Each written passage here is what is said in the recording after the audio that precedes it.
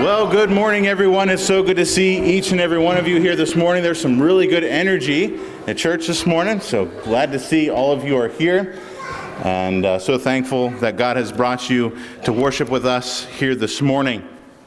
My light is green, so we're, we're good to go. This morning's uh, first service, I about 25 minutes into the message, I didn't have my green light on, so we're green this morning, but we're good to go.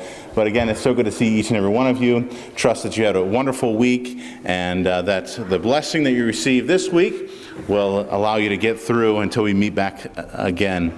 I uh, wanted to just make just a couple of comments. Thank you, church, for praying for my, my wife. She is here this morning with a brand new member of our family. And so uh, thank you for your prayers and for your love and showering us with, with, with gifts and with food and uh, I've been eating really good this past week. So, uh, again, thank you, church. And there is a shepherd's pie waiting for us when we get home this afternoon. So, we're all set to go. But uh, again, thank you, church, for uh, your love and for supporting us. So, what we're going to do at this time, let's go ahead and stand. We're going to have an opening word of prayer, and then we're going to get right into our singing this morning. Let's pray.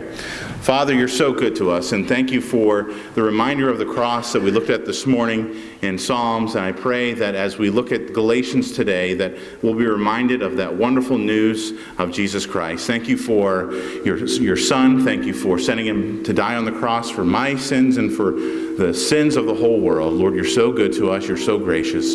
Father, we commit this service to you now. Lord, I pray that as we sing this morning, that it will be honoring and glorifying to you, that we'll lift up our voices all in one accord as we praise your wonderful name. Bless this service, we pray, in Jesus' name.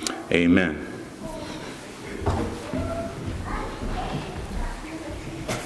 All right, good morning. Had a lot of you guys today. It's good to see. So, um, if you join us, first song, I've got the wrong paper is uh, I lift my eyes up.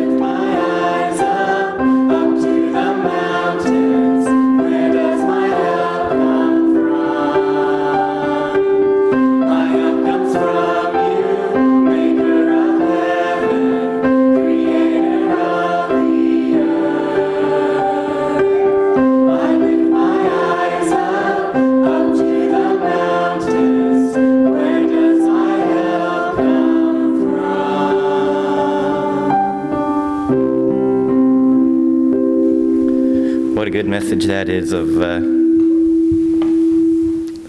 of uh, how uh, how we can look to Him and and uh, help us through life, and uh, that leads into our next song of He is exalted and step by step, and we think through the lyrics of step by step of how great it is that that He's there uh, leading us and uh, encouraging us along the way, and, and uh, He's got a bigger plan for us. So He is exalted.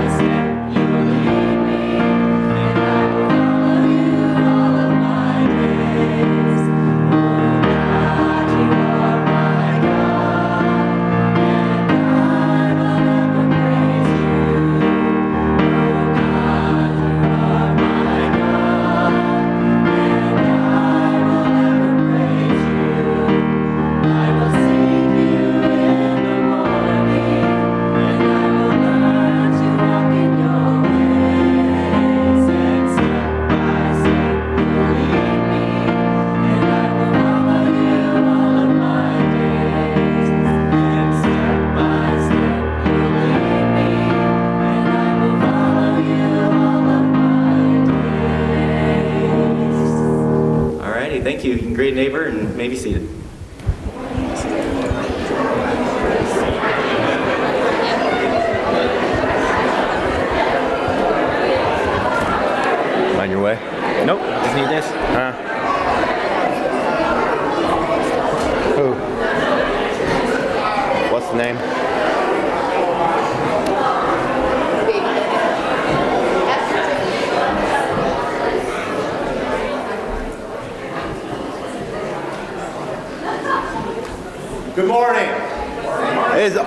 to see the church filled like this. It's been a while since we've seen it like this. Everyone, we have a new baby here for the first time, Emmeline Bennett. She looks pretty cute. Oh, we have an, oh! Pastor's new kid, is it kid, Cody? Cody's here as well. I didn't know there was, I only got one over here. All right. Um, And the boys basketball team last night, or wasn't last night, it was yesterday, had a great game. I know they lost. I know Sam here. Where at? Oops, Sam, that was a great game. We were listening to the game, me and my wife, about three minutes to go, and the end of the game, we lost the radio. We're calling people. Finally, Danielle answered, and she became an announcer for the rest of the game. It was a great game. I know, I know you guys lost. That was a great game. Um, announcements. Next week is going to be the Christian Ed a meeting. It's not going to be tonight. And you're still going to have choir tonight at 6.30. Um, our Good Friday is, is going to begin at 7 p.m. Sunrise service is going to begin at 7 a.m. on Easter morning. Uh, remember that sportsman banquet? I'm, I'm really looking forward to it. It's the 27th. It's uh, 27. It's a good. It's a good. Um, I know I have some people I'm going to invite. It's going to be a, it should be a fun time. It's going to be a fun time. Um, there's going to be a ladies retreat at Twin Lakes April 23rd through the 24th. And then um, I know Valerie Good had a good surgery. And we just need to continue to pray for her recovery, a successful one. And there's, there's a lot of people on this prayer request, guys. We need to try to keep in mind to pray for them every day, okay? All right? Yes.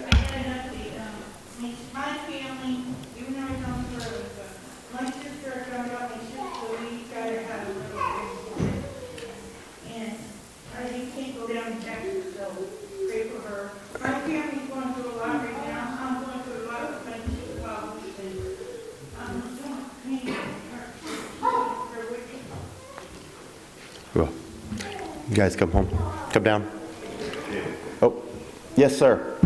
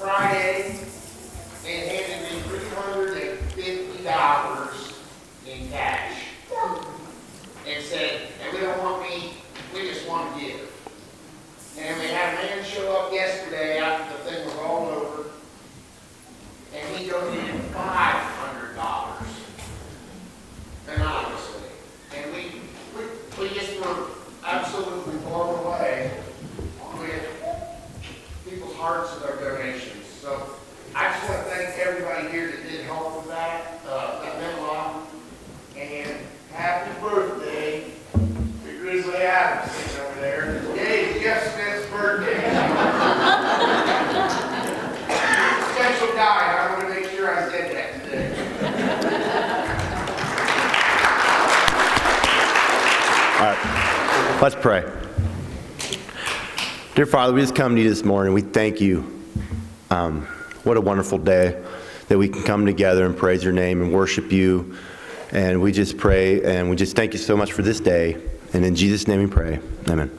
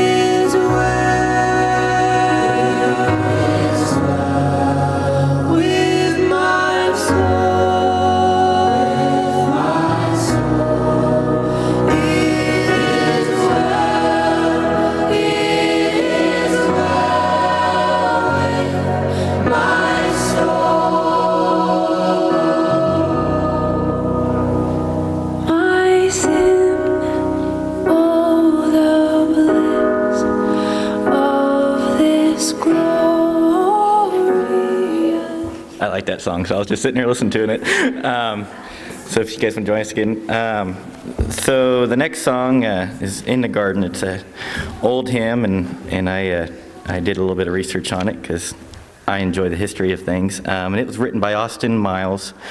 And uh, so uh, after he, he'd written it, uh, he kind of had an interview on, on um, you know, why he wrote it and everything. And he said he was reflecting on uh, John 20, um, and it was kind of the story of the first Easter. And uh, I'll just read this quote here that he said. Um, he says, "I read, as I read it that day, it seemed to be part. I seemed to be part of the scene. My hand for resting on the Bible while I stared at the light blue wall. As the light faded, I seemed to be standing in the entrance of a garden, looking down gently winding path, shaded by olive branches. A woman in white, with head bowed, hand clasped her throat as if to choke back her sobs, walking slowly into the shadows. It was Mary. As she came to the tomb upon which she placed her hand, it bent over to look and in a hurry away. John, in flowing robe, appeared, looking at the tomb. Then came Peter, who entered the tomb, followed slowly by John. As they departed, Mary reappeared, leaning her hand upon her arm at the tomb. She wept. Turning herself, she saw Jesus standing, and so did I. I knew it was he. She knelt before him with his arms outstretched, looking into his face, and cried, Rabbi. I awakened in full light, gripping my Bible with my muscles tense and nerves vibrating. Under the inspiration of this vision, I wrote as quickly as the words would be formed a poem exactly as it has since appeared. That same evening, I wrote the music. So I guess as, as we, uh, you know, read through the Bible and everything, uh, uh, kind of envisioning, uh, you know, what, what's being said, and uh, so this was an interpretation from him on on that first Easter. So in the garden, if you guys could please stand.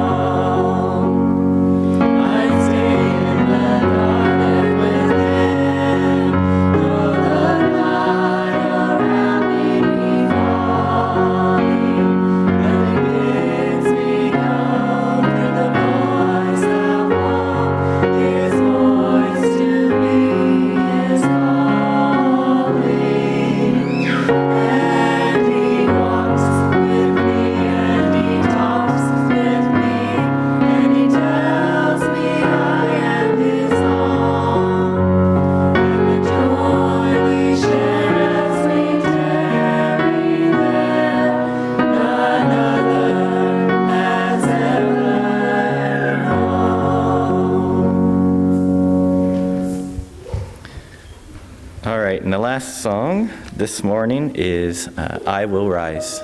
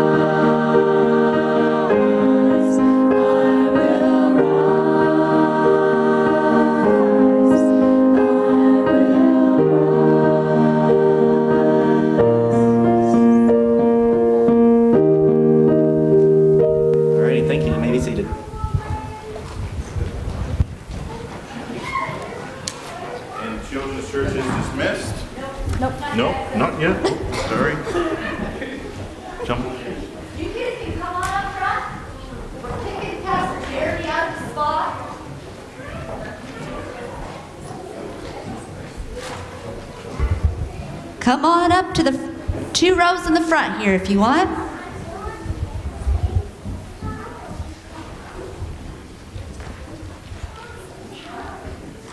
Hi, guys. How are you this morning? Good. You're good too? I'm glad. All right.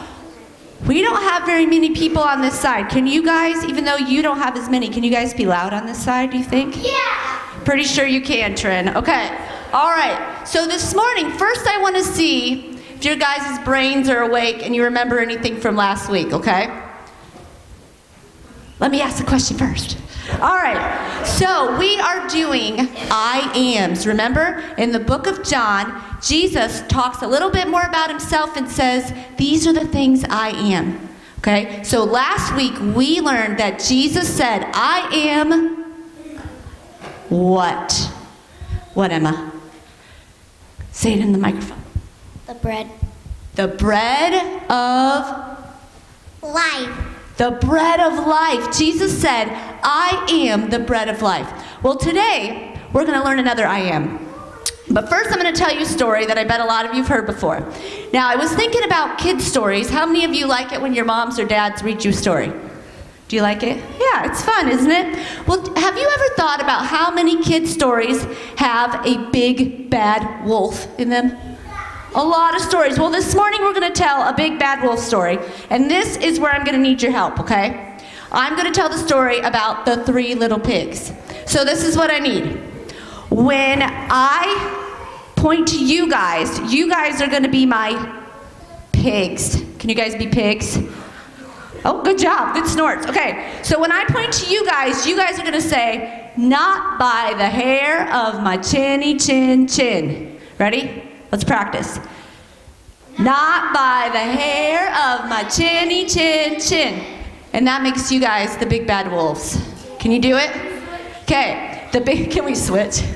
The big bad wolves. So you guys, when I point to you guys, you're gonna say, little pigs, little pigs, let me in. Ready? Little pigs, little pigs, let me in. And then when I point back to you, you'll say, then I'll huff and I'll puff and I'll blow your house down. Okay, you guys are ready. So, here's our story. So, one day, a mommy pig had three pigs, and she said, It's time for you guys to go out on your own. Well, they left their house and they went and built their own.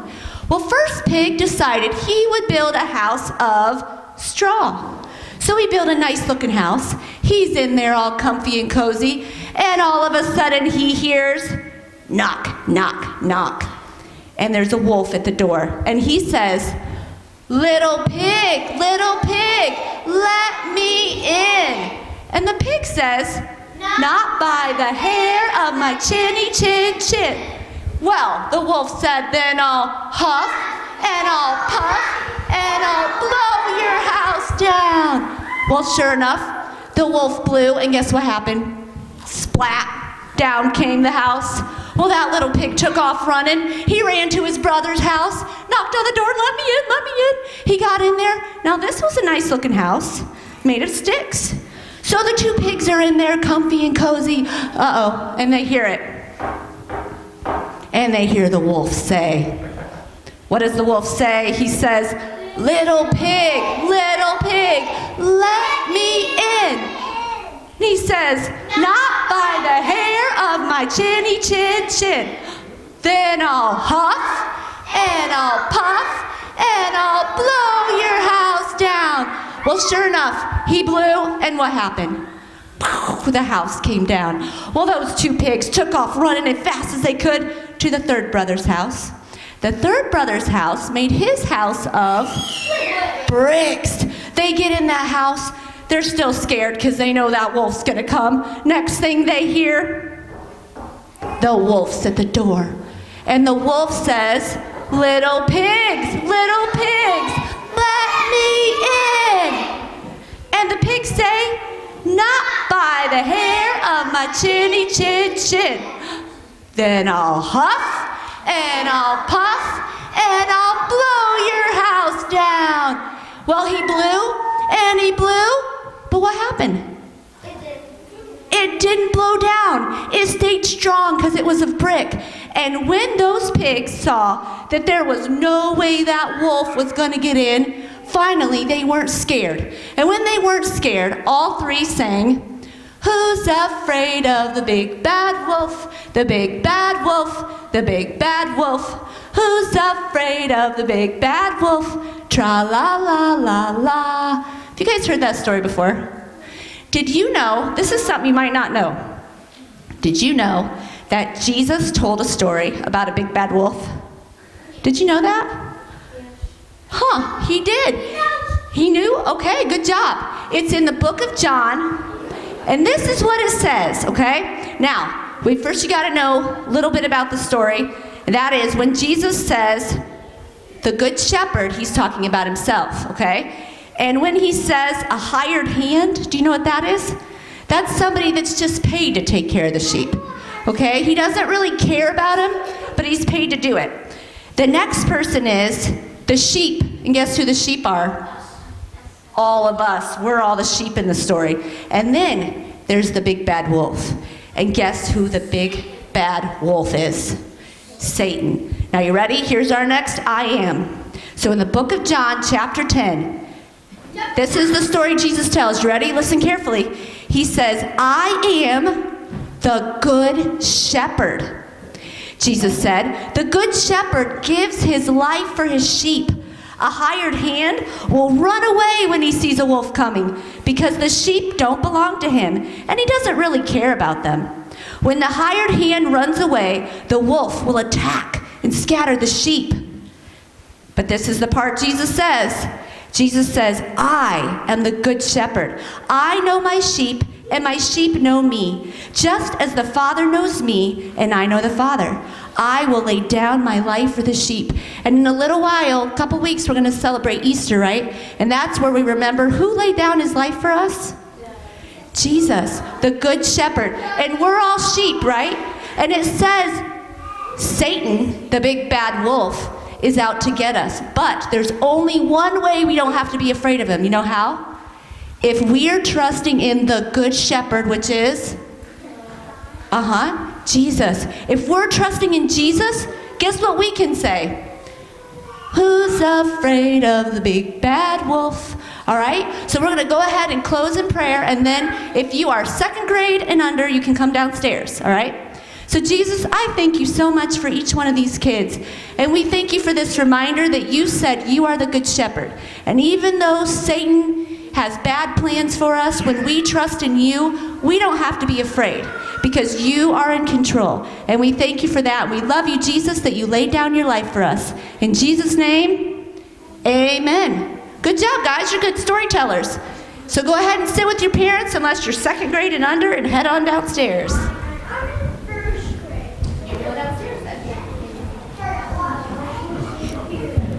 And then those three little pigs who were so comfy and cozy in their brick house made its way to the Fred Farms where we slaughtered them. We're going to have a hog roast on the 27th. Amen.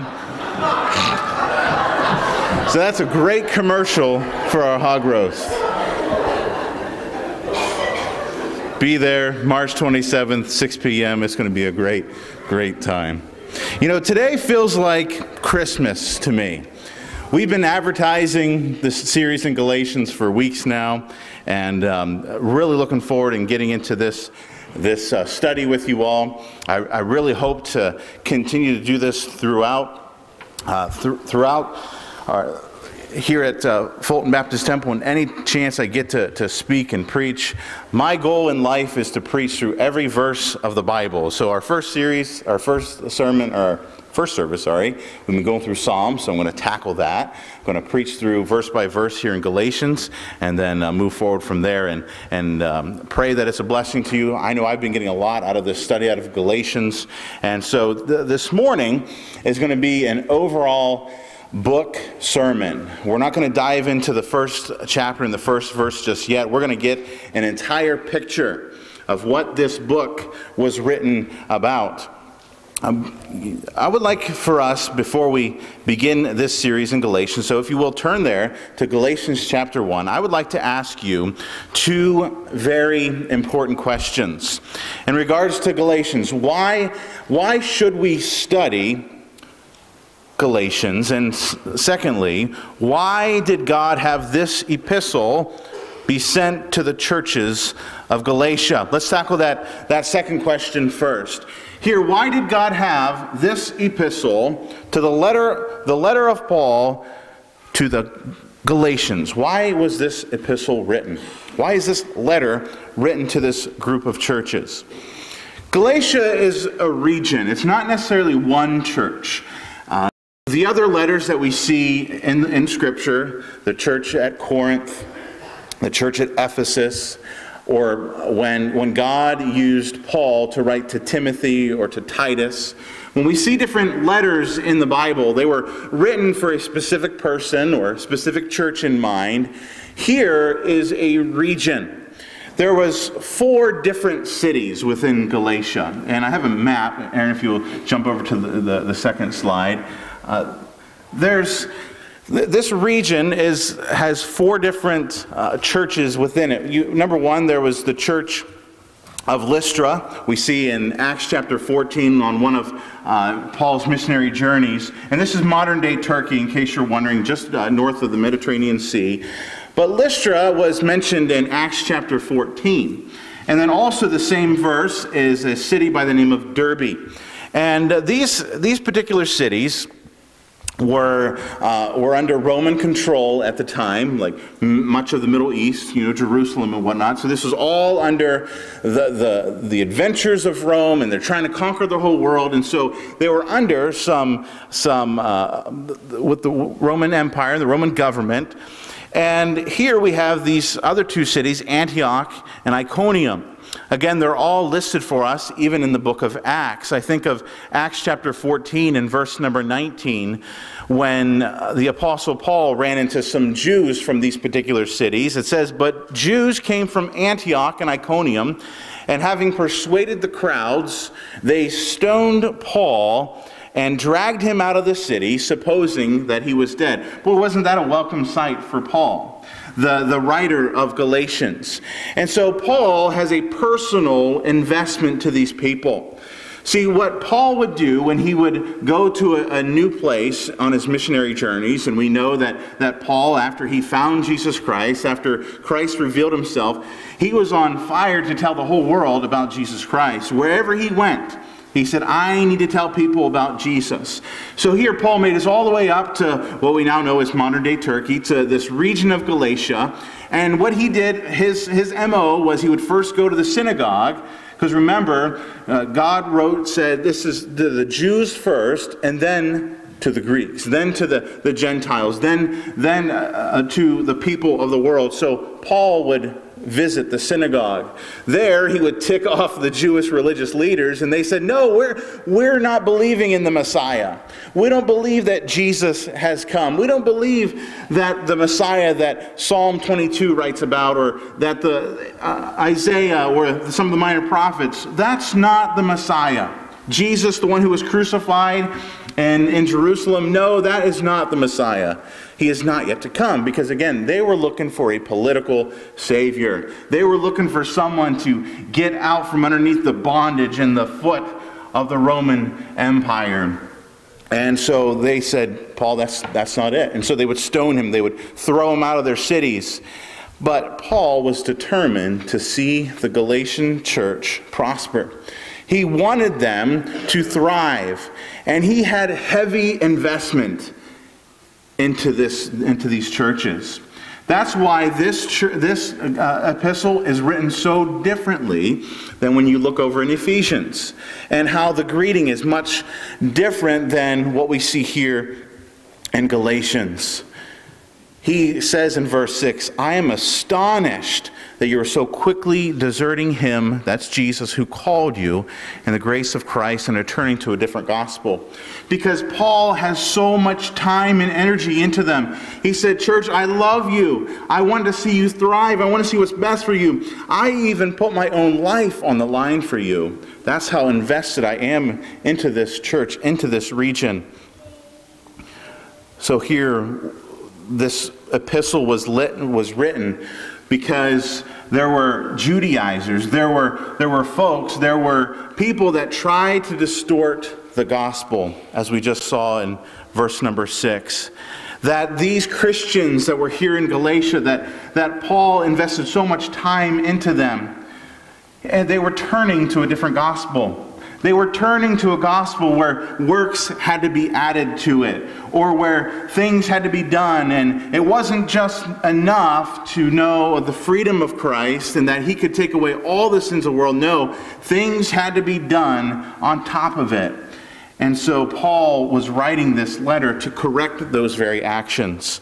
This Paul, this this uh, letter again to the Galatian churches of all four of these different cities was written so that the, uh, that the things that were creeping in, the false teachers, could be corrected.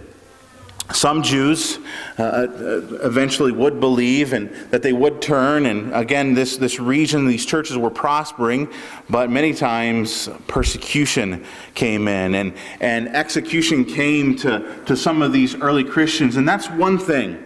But Paul finds out that there are false teachers creeping in to these churches who claim to be Christians who have, who have come inside the church and they're perverting the wonderful news of the gospel. And Paul is furious. That's enough, he says. Even over, over in chapter 3, verse 1 Oh, foolish Galatians! He calls them fools. Why again? Because he has so much time. He has so much energy. He loves these churches. And so God uses Paul to write these letters uh, to these, write this letter to this, this region so that they can turn from the false teachers, so they, they can learn uh, of what is right and what is wrong and to hold fast that wonderful truth of the gospel. He's refuting this false teaching. That false teaching was adding works to salvation. And the writer, again, Paul, we even see that he has this, this battle with Peter. Do we know who Peter is? He's one of the, the 12 disciples of Jesus. Peter was just a simple fisherman. He was a simple man, but he walked with Jesus. He talked with Jesus. He saw Jesus perform miracles. And we, all, we know that story even of in the New Testament when Peter's all frustrated. He's trying to cast his net out and to catch fish. And that's when Jesus comes up to him and says, Cast on the other side. You can kind of sense Peter's frustration. Why do I want to do that? And uh, eventually listened to the Lord and did just that. And he couldn't even pull all the fish in. Again, he got to see Jesus. He got to observe Jesus and walk with him. But yet, even Peter had some struggles. In the, seventh, in the 11th verse of chapter 2, we observe that even Peter would act one way in front of the Jewish Christians, and he would act a completely separate way to the Gentile Christians. And this was hypocritical. Paul, again, the author of Galatians, saw that and says, Peter, no, you cannot do that. That is not for you to do. You're, you're a hypocrite. You are doing these things. You're acting this way, and you're trying to uh, have these, uh, these Gentiles act like Jews, but they're not Jews. Verse 14. But when I saw that their conduct was not in step with the truth of the gospel, I said to Cephas, I said to Peter, before them all, if you, though a Jew, live like a Gentile and not like a Jew, how can you force the Gentiles to live like Jews? So Paul, again, was upset. He's, again, the Lord used Paul to write this letter to these churches to, to correct some actions that's going on within these churches. And uh, to, to steer them back to that wonderful truth of the gospel so they're not perverting the gospel. What is that gospel? The gospel message is simple it's Jesus Christ's death, burial, and resurrection. That's the gospel summed up. Why did Christ have to die? Why was a man by the name of Jesus, God Almighty, 100% God, 100% man, why did he have to die? He had to die for me. He had to die for you.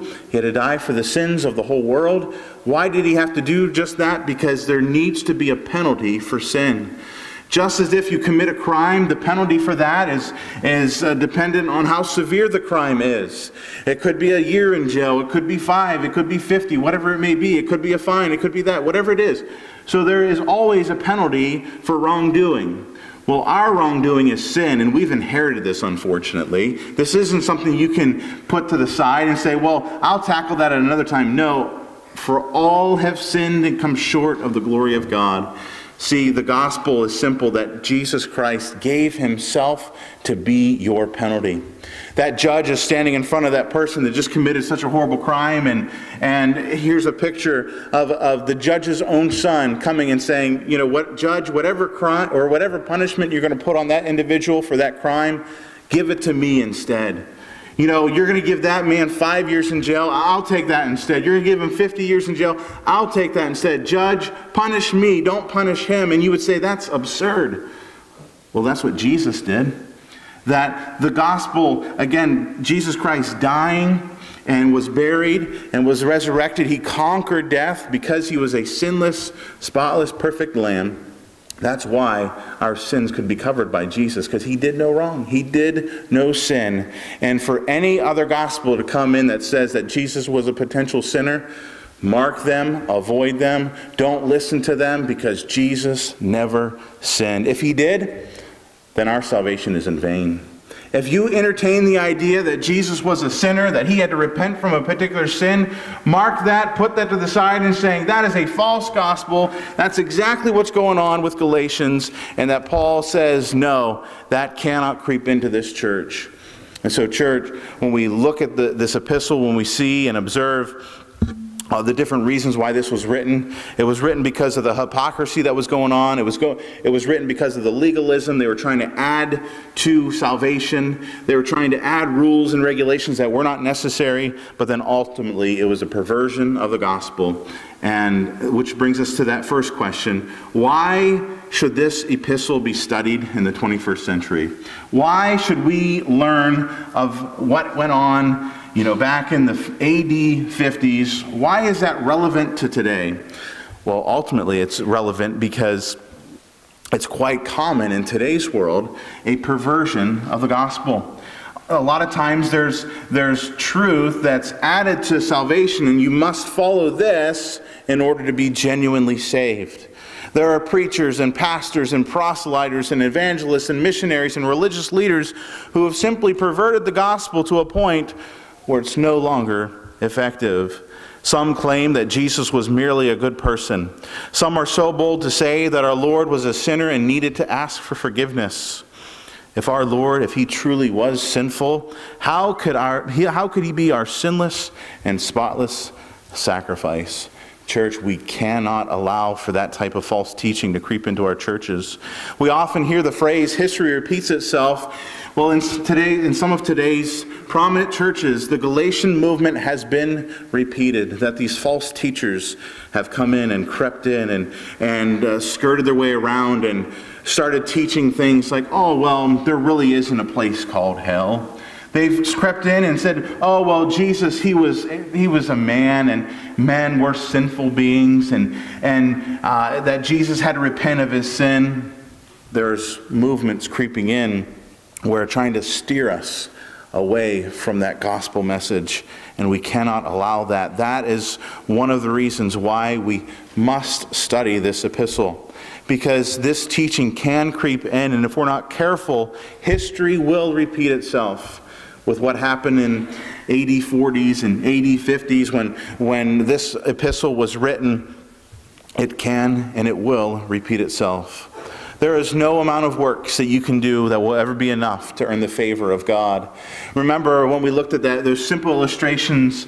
Again, I'm a simple man, so I like pictures. And remember, I had that ladder over here of religion when we studied real Christianity. And then we had the cross of Christ on this side. And you could work and you could step and you can give and you can do all these things to try to earn God's favor. But it's just like the Galatians where they were adding to that, that gospel message, and we cannot allow that to happen. And so that's why this epistle must be studied. We must get a grasp on this book to truly understand what freedom in Christ is all about. Freedom in Christ.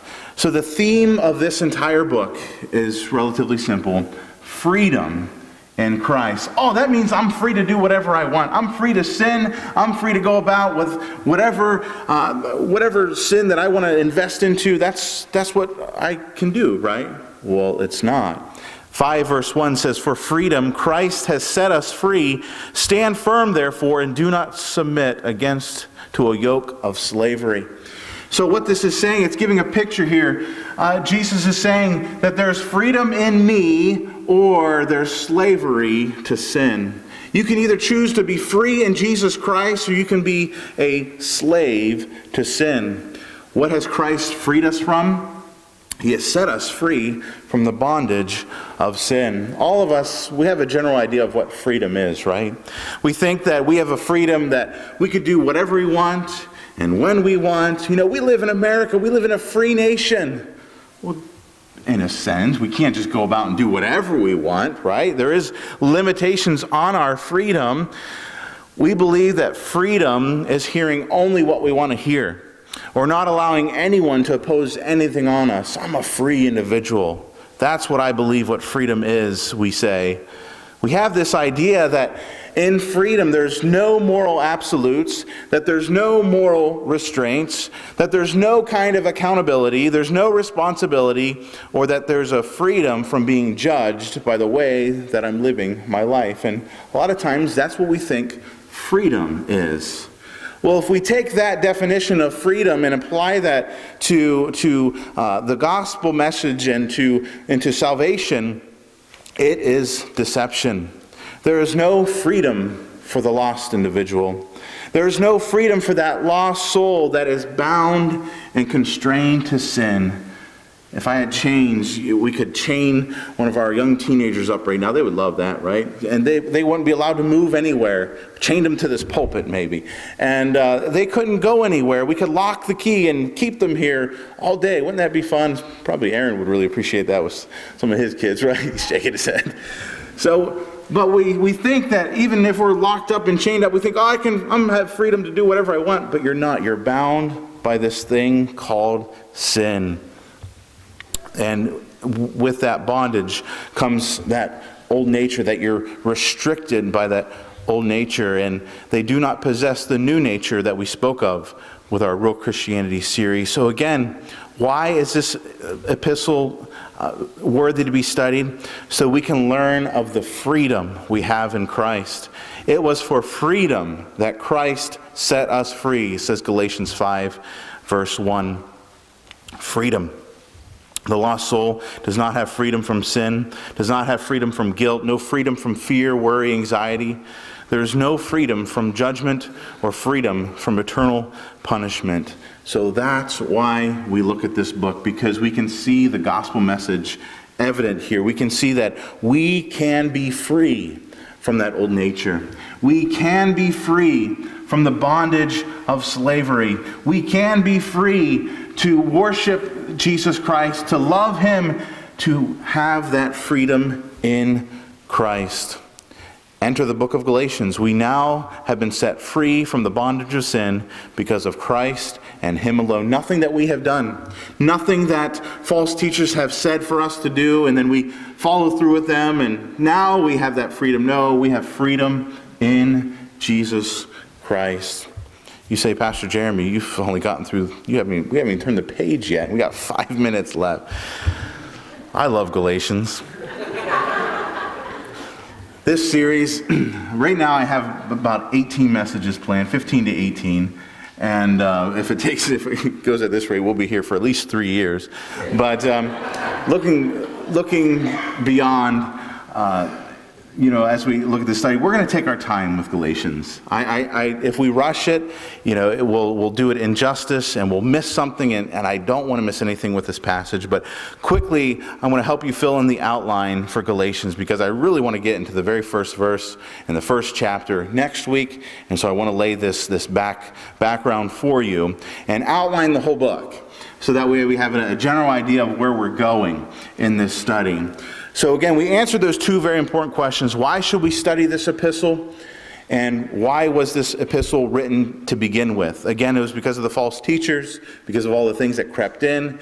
And so, why should we study it now? So we can stop that from happening with our body so we can stop that kind of thinking with wherever we we talk with people uh, because there's some prominent evangelists out there some pastors some teachers and they say well what about this individual? Well now as a study in galatians you'll be able to answer those things and help defend the bible stance on what the bible says about the gospel. So again that's why it's important for us to study this book today.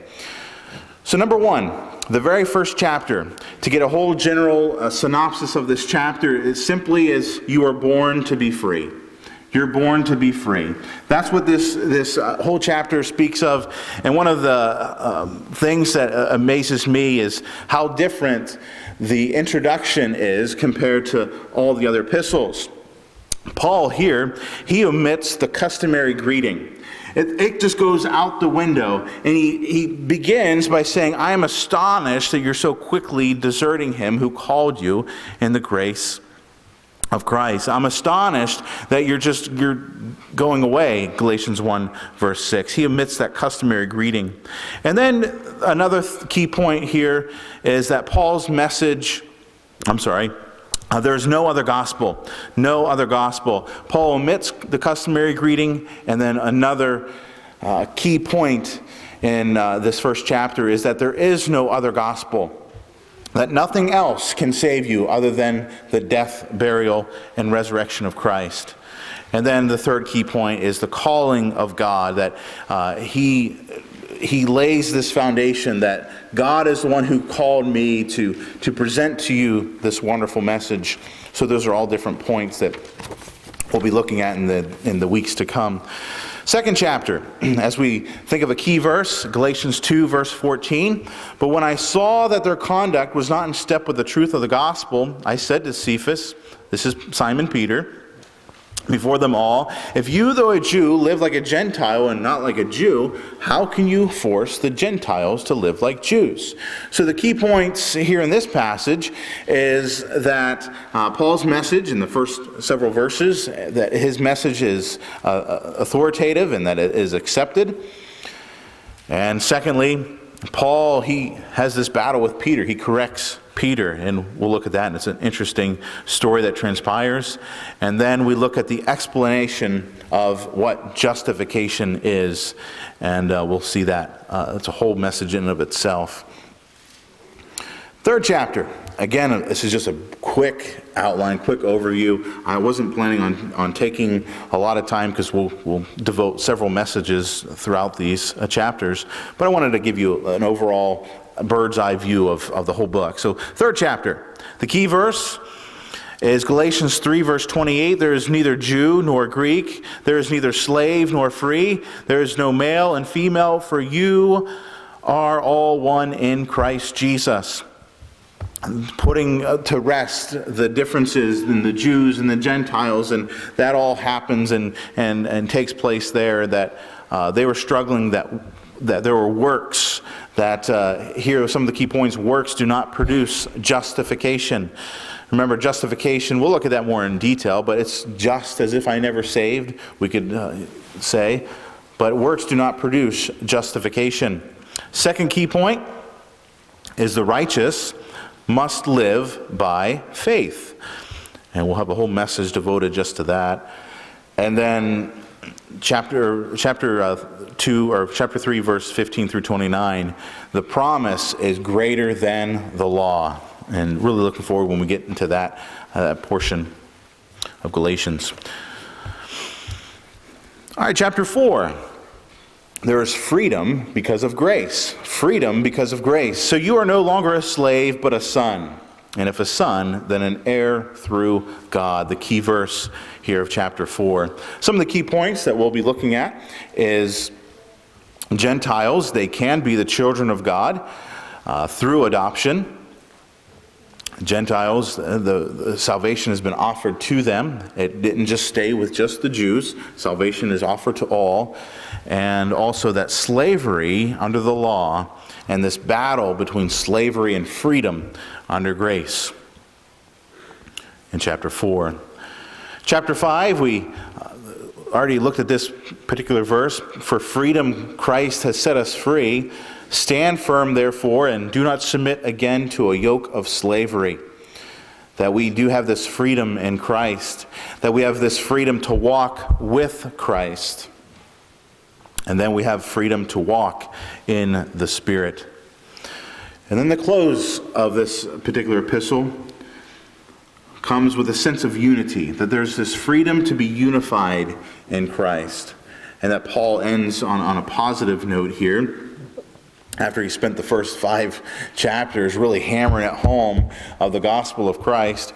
And here he's saying, in this freedom, now that you know uh, of the gospel of Christ and the truth behind it, that there is there should be this sense of unity among the churches that these four churches that i'm writing to there needs to be unity here and that you can have this unity in christ and one way to do that is to bear one another's burdens that's a way that uh, unification can be achieved to help one another not just when someone stumbles and falls in sin and uh, just kick them down the road and ah you'll be fine that's not what Christ wants us to do. So we can see throughout this epistle that, that the close of it to bear one another's burdens. And then we can have success through the cross. We can have success through the cross. The world's definition of success is to, uh, to have more wealth at the end of the year than you had at the beginning. Well, that's, that's not Christianity success. That's not having success in Christ. And we'll see in the last chapter what it truly means to have success. And it's just simply to be obedient, to be humble and to obedient. If you're that in your Christian life, you are a successful individual. And we'll have a whole message devoted to that. But Galatians, again, it's like Christmas. I couldn't wait to introduce this series to you, and we'll be spending the next couple weeks uh, going through chapter one, and we'll take just a short break for Easter. And not sure yet, though, because there are some passages that really revolve around. So we might even be in Galatians uh, during Easter, and uh, because the resurrection is found all throughout the book of Galatians because, again, that's part of the gospel. So, again, I hope that you're looking forward to it as much as I am, and, uh, but really wanted to lay just a, brief synopsis of the whole book and give a, a, a foundation of why this epistle was written and why is it relevant for us to study today. Let's close in a word of prayer, and then we will be dismissed. Let's pray. Father, we thank you for this day. We thank you for your goodness to us. We thank you for your mercy and for your love. And you have given us so much. Father, I pray that you'll just be with us. In Jesus' name, amen. Do we have a closing? So I didn't talk to you at all, but praise team, is the praise team all still here? Can we close with um, I Will Rise? Can we, can we do that as I'm throwing you guys under the bus? But uh, I love that song. Um, I think that's the name of it, right? The last song that you guys sang. All right, I want to make sure. But uh, thank you. Thank you, guys. God bless you all, and we'll see you all next week. And we're going to close uh, by singing this song. Let's all stand as we close and we sing.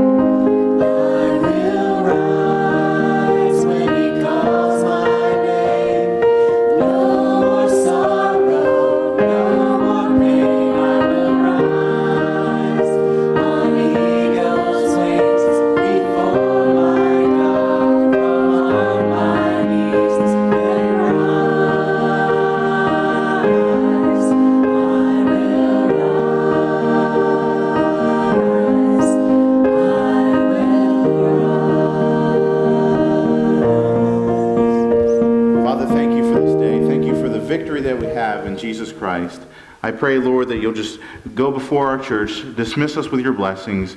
God, we thank you and praise you for the victory that we have in you and the freedom we have in Jesus. Bless this day, we pray, in Jesus' name. Amen. Church, if you would like to help out with the Sportsman Banquet, we're just going to have a brief uh, meeting up here.